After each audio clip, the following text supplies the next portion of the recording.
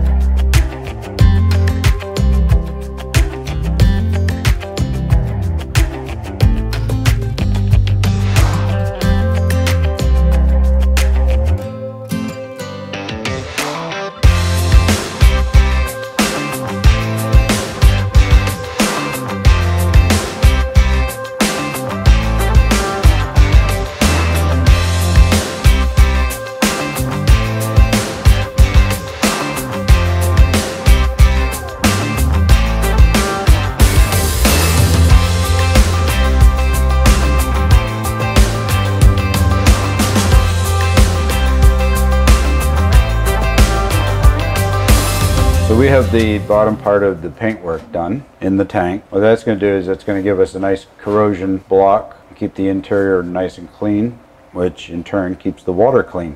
So at this point we need to put the top on.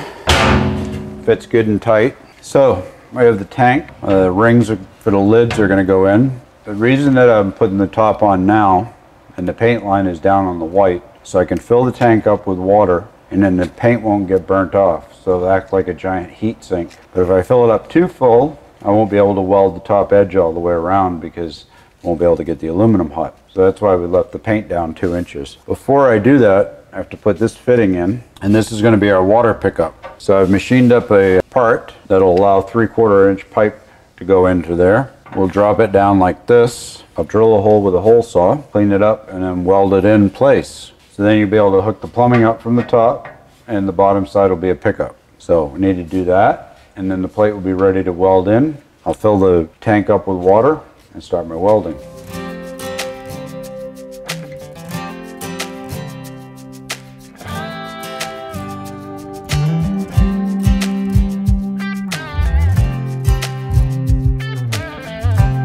All right, so we're here at the finished part of the tank, which holds 65 gallons of vodka. I mean water. Yeah, we're not going across Canada with it to sell it on the other side. It's always going to have water in here, just in case any of the custom guys are watching. Sh- Should we put, be putting that on video? Our 65 gallon water tank is done. And in order to hide that, what we're going to do, we're going to use these really cool tanks. And they sit like this.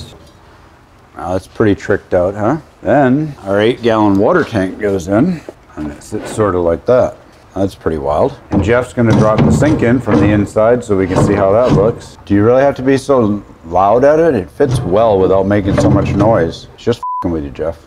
Oh, there, that's better. We always have people making noise. It's supposed to be silent when it goes in. Maybe we can edit some of the thunder out. So this is adjustable. So this is adjustable. We'll adjust this out and I'm gonna put it, some aluminum down and we'll thread it in, put some inserts down for the feet. And then the cover will go on like such. So this cover actually drops down in here.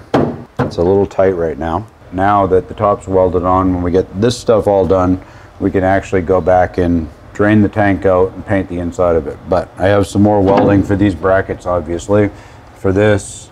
And I wanna keep the water in the tank so that it doesn't heat the paint on the inside of the tank. I hope you all liked this video. Don't tell the customs guy where we're keeping the vodka. And the next video, which I believe will be 11, this will be 10, and the next one will be 11. We will go over how all of this is getting installed and mounted and plumbing and all of that fun stuff. Subscribe, like, send me a comment. Don't send me a comment. Be safe. Make something cool, even if it doesn't have anything to do with wood or steel. Making somebody happy is pretty cool too. We'll talk with you all later.